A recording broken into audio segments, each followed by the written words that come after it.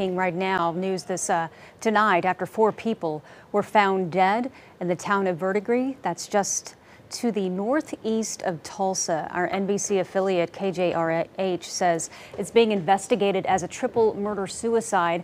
Multiple law agencies are investigating, but right now they have not shared details about the victims or the suspect.